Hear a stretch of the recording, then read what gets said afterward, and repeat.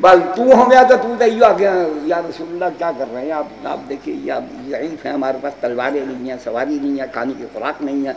वो ग्यारह सौ है, उनके पास ग्यारह सौ तलवारें हैं नेज़े हैं भादे हैं, अरबे हैं। वो तो एक ऊँट रोज़ जिवा करते हैं, साथ उनके वो भी हैं।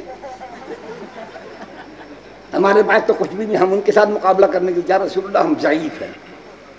साहबा तेरी गिच्ची घोट के थी तो जहल के दफन कर देने ना गाल तो तेरे मगजा खाना ला हो गया।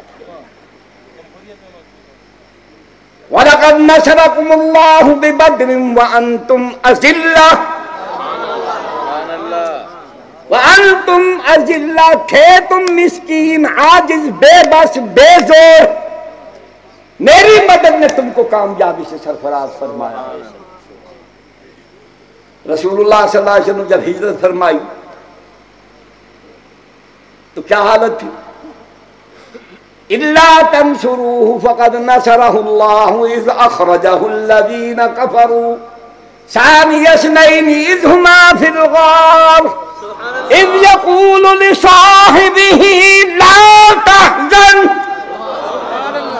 इन्नल्लाह माना कै मदद की थी ई वे ए अमल ठीक ना हो तो अल्लाह से आख न सकता सोना हूँ ना बल दसे अल्लाह से इन्हें तो कठिया भी हूँ बोले जिड़े फौजा बूहे दे सामने तलवार छिक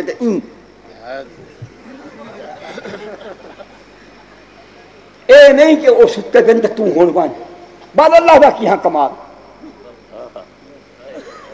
बल कि कमाल? कमाल तो यह है कि दुश्मन पहरे के उत्ते खड़ोते अखी पट्टी खड़ोते इवें। जिमें छिट्टा कुत्ता होंगे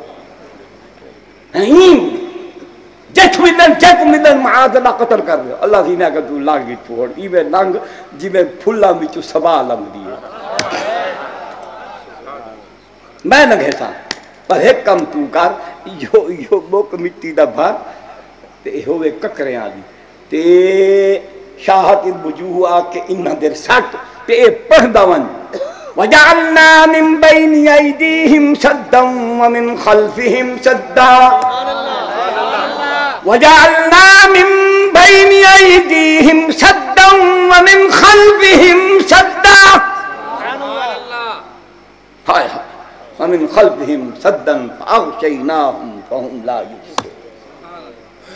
नबी ने वो मिट्टी दा भर के मारे अल्लाह से क्या थे क्या थे वमा रमैत इज़ रमैत वलाकिन अल्लाह रमा नहीं मारी ये मिट्टी की मुट्ठी तुमने मगर मारी हमने मुझे अल्लाह ने मारी। कल्ला नबी, लश्कर जर्रार तेरा फ़र्ज़ वह जईफीदा न हथियारे, न नेजाए, न तलवारे, न लश्कर न सिपाह। कल्ला नबी। अल्लाह के हुक्म पर चलना है। वो अकेला चलाए उसकी मर्ज़ी लश्कर भेज कर चलाए उसकी मर्ज़ी।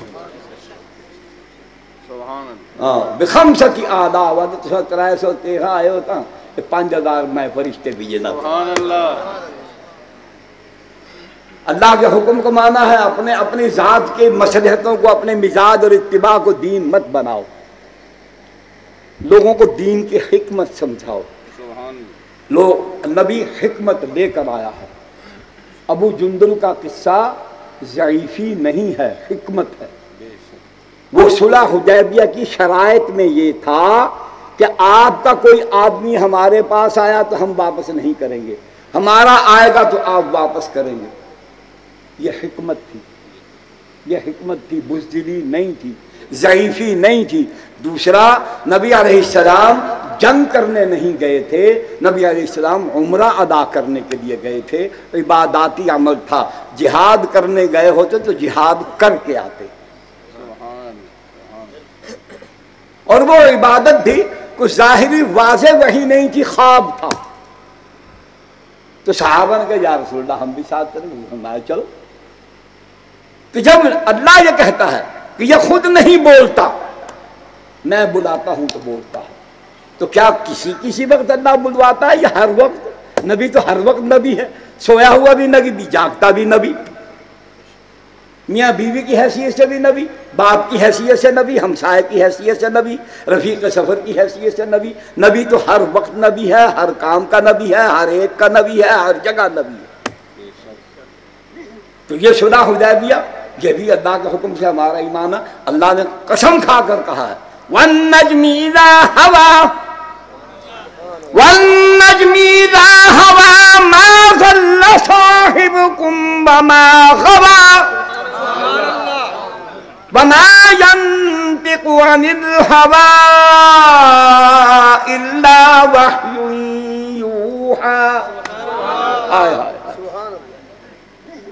कसम खाकर अल्लाह ने कहा और इस कसम में भी एक बात की तरफ़ तवज्जो दिलाई अभी मुझे टाइम बता देना खुदा के लिए फिर ये क्या टाइम थे?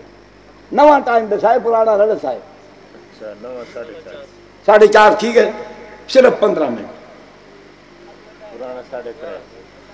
ना सी ना साढ़े चार नवा गड्डी नवे टाइम तो लगे भी सी सब पुराने टाइम तो नहीं रखे सो। जेड़े पुराने टाइम ते पाँच बजे तो छह बजे गड्डी समय सके पहुँची मैं इतने ही बैठा था।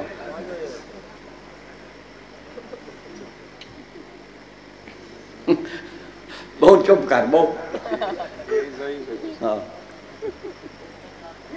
वापस आता हूँ बात की तरफ़ पूरी दुनिया में एक किताब कुरान मजीद तेरह साल मक्के के शामिल करो नजूल वही के तो चौदह सौ बयालीस बनता चौदह सौ उनतीस हिजरी है तेरह साल वो शामिल करो तो चौदह सौ बयालीस बरस हो गए इस किताब को दुनिया में कोई किताब बीस, पच्चीस, तीस, दस बरस से ज़्यादा उसने अपनी सही हालत को कायम नहीं रखा।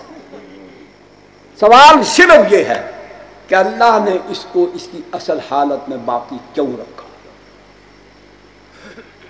जबकि कानून अल्लाह का ये हर जगह पर है कि जो चीज़ जब तक इंसानों को नफा देने के काबिल होती है, वो बाकी रखी जाती है।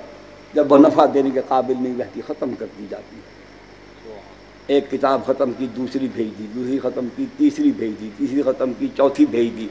हज़रत ख्वाजा हसन बसरी रहमत फरमाते हैं अल्लाह पाक ने एक सौ तेरह सहीफ़ी और किताब हिदायत नाम नाजिल फरमाए। एक सौ चौदहवीं किताब कुरान है। अल्लाह ने एक सौ तेरह सहीफे सारे के सारे कुरान में शामिल कर दिए। इसीलिए कुरान की सूरतें एक सौ चौदह। बात समझ में आई?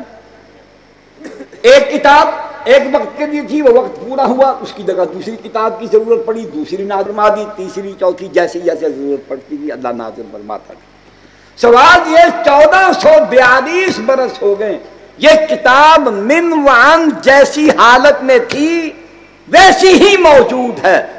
तो इसके मौजूद होने का मतलब ये है कि जो इसके खवास, जो इसके फवाए जो इसकी तासीरात, जो इसमें नेमतें, बरकतें, कामयाबी के जो उसूल हैं, जैसे नाजिल होने वादों पर थी, वैसी आज मौजूद है। वरना इसको बाकी रखने की ज़रूरत क्या? पानी इसीलिए बाकी है कि आदम इस्लाम को प्यास लगी तो यही पानी पिया था। तो प्यास बुझी।